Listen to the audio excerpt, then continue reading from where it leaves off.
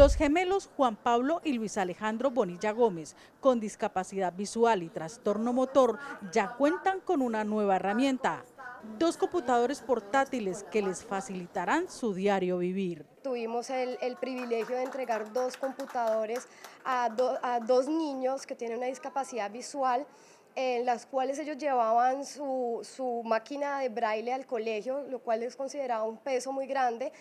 Y hoy se les entrega dos computadores pues, para facilitar su aprendizaje y hacer más incluyente en su educación en, en, los colegios, en el colegio donde ellos se encuentran. Atrás quedaron las pesadas máquinas en el sistema braille que estos chicos tenían que llevar a la escuela un sueño hecho realidad por el gobierno del Valle a través de la Secretaría de Desarrollo Social este computador eh, que me acaba de caer es muy, para mí.